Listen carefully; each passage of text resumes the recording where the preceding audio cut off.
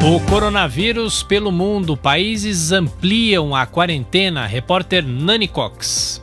A Organização Mundial da Saúde alertou nesta segunda-feira que o coronavírus está sendo levado das ruas para dentro de casa. O diretor executivo da OMS, Michael Ryan, reforçou a necessidade de isolamento social e a importância de realizar testes em todos os casos suspeitos. Nesta segunda-feira, diversos países anunciaram ampliação de medidas de distanciamento social. Na África, autoridades de Lagos, capital da Nigéria, impuseram quarentena na cidade. Na América do Sul, a Argentina prorrogou as restrições à circulação por mais 14 dias. O Irã país mais afetado pela pandemia no Oriente Médio, registrou 112 mortes em 24 horas, somando quase 3 mil óbitos. Na Europa, a Espanha endureceu as regras de isolamento.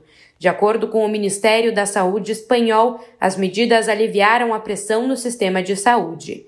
O país registrou 812 mortes em 24 horas, o menor índice desde quinta-feira. A Espanha ultrapassou a China no número de casos, atingindo 85.195 infectados. O primeiro-ministro de Israel, Benjamin Netanyahu, autorizou o uso de forças de segurança em áreas que violarem as regras de distanciamento. Na Bélgica, a velocidade de contágio vem diminuindo, mas o governo não descarta a possibilidade de estender a quarentena até o início de maio.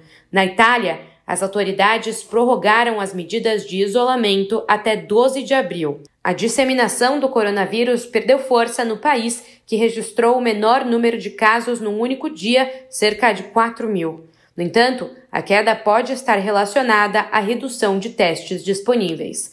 Foram mais de 800 mortes nesta segunda-feira e os óbitos no país passam 11 mil. Na França, 418 pessoas morreram, o maior número desde o surgimento da doença no país. Enquanto alguns países europeus endurecem o isolamento, Dinamarca e Eslováquia decidiram afrouxar as regras do confinamento. No início de maio, os dois países se anteciparam e anunciaram o fechamento de lojas, escolas, além de restrições para a entrada de estrangeiros. A Dinamarca tem pouco mais de 2.500 casos e 77 mortes. A Eslováquia não registrou nenhuma morte até agora.